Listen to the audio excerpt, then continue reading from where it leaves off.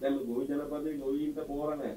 දැන් ඒක නිසා ඉදිරියේදී සාගතයක් කියන ජීවිත ඔබතුමත් කියවනේ කෘෂිකර්මවලදී ෆේල් කියලා. ඔබතුමත් හිටපු කෘෂිකර්මවලදී දැන් ඒකට මේ කෘෂිකර්මවලදී මේක අර්ථ දීරන නිසා. යම් කිසි දෙයක් මේ විච්ච හානිය වල මොකද කරන්නේ? දැන් මේ චීන නැවතත් ජීවුවා.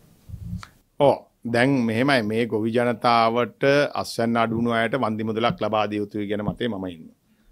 මොකද ඒ පිළිබඳව ක්‍රමවේදයන් ගණනය කිරීම කරන්න ඕන. මොකද මේ ගොවි ජනතාව අන්ත අසරණ තත්ත්වයට පත් වෙච්ච අය ඉන්නවා. හැමදාම අපිට උදේට කතා කරනවා. මොකද මම මේ අපි මම ගමේ ගියාම ඒගොල්ලෝ එනවා. පෝර ටිකක් හොයලා දෙන්න කියලා. එහෙම කියන කට්ටිය ඉන්නවා. ඉතින් ඕක ඕක මටත් මටත් අත්දැකීම දින මගේ කුඹුරටත් තාම පෝර ටිකක් ගහ ගන්න බැරි වුණා. එද අපිට ඇත්තටම මොකක්වත් පෝරක් ලැබුණ ම මේ නැහැ මෙහෙම වන්දි ගෙවන්න.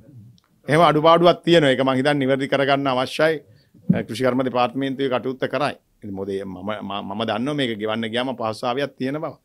මේකට ක්‍රමවේදයක් නැතිවත් මට පිළිගන්න සිද්ධ වෙන නමුත් මොනහරි ක්‍රමවේදයක් හදලා මේ ගෝජනතාවට මේක දෙන්නවා